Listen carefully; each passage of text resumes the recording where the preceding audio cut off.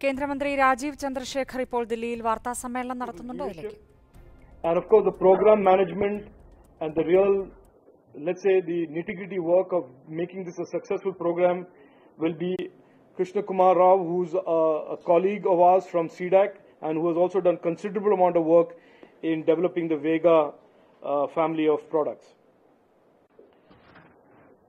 It is also an important milestone in the Indian tech ecosystem's journey because we are today also happy that uh, and the RISC-V International Board have invited India to the board of uh, RISC-V and we are happy to join that board and drive the proliferation of RISC-V not just in India but around the world and contribute to the proliferation of this open source ISA uh, to be the new standard or the new uh, new uh, generation of processors uh, for the future needs of the digital consumers of the world.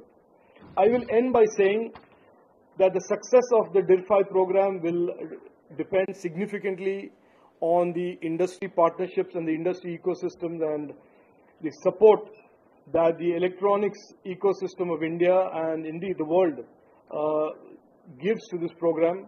We are absolutely committed as the government of India to make the DIR-V program an outstanding success with products, with solutions and design wins. And I look to the leadership of the DIR-V program, Professor Kamakoti and uh, Mr. Krishna Rao to drive this and, uh, and take us to the, the milestones that we have set out. And I wish them all success. Thank you all for your attention. Thank you for being here on what is uh, personally for me a very important milestone. Uh, collectively for all of us in MeitY, a very, very important milestone in the journey of India being a semiconductor nation. Thank you very much. Jayan.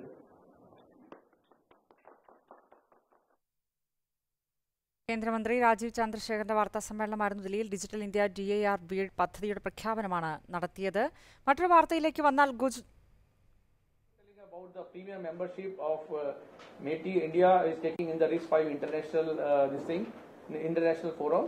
So uh, with this, I would like to request uh, Bob Brennan, uh, Vice President and General Manager Intel Foundry Services, to give his suggestions for catalyzing India's semiconductor design ecosystem. So I request Bob to please uh, say a few words. First of all, Intel is very pleased part of the Year 5 announcement. I think it's significant for RISC-V. I think it's significant for India, and it is significant for the world.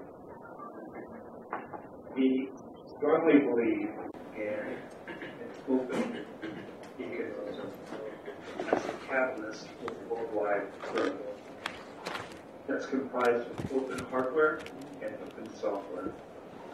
In open hardware, we're very pleased to see leadership. കേന്ദ്രമന്ത്രിയുടെ വാർത്താ സമ്മേളനമായിരുന്നു രാജീവ് ചന്ദ്രശേഖരന്റെ വാർത്താ സമ്മേളനം digital പദ്ധതികളുടെ പ്രഖ്യാപനം ആണ് ഇപ്പോൾ കണ്ടത്